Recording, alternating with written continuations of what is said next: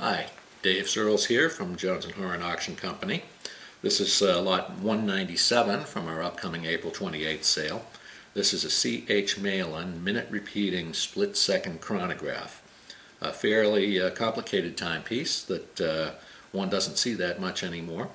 Um, the watch strikes the hour to the nearest minute on command on when one pulls the slide on the side of the case.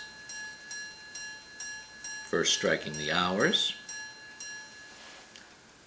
then a double tone for each quarter, and then the minutes on a high tone uh, for the last quarter past.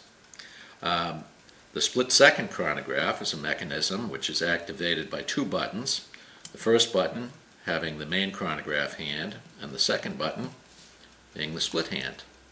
So let's say you have two race horses that are going off at a particular uh, racetrack that you love to go to, and they're off, and they're running down the track, and to make it a very short race here, uh, the first one passes the finish line, and then the second one passes the finish line.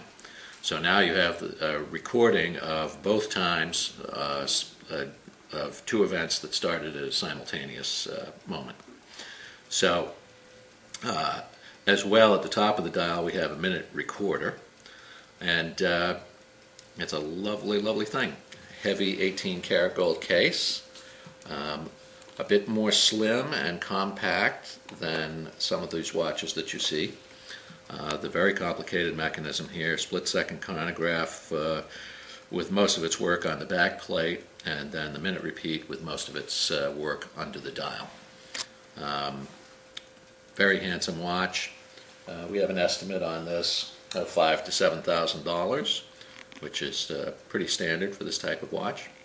And uh, white enamel dial, excellent condition, um, a beautiful thing to uh, see, and uh, be a fun thing for someone to own. Our sale again, April 28th at the Radisson, Manchester. Uh, we hope to see you there, or come visit us online at jones-horan.com. Thank you.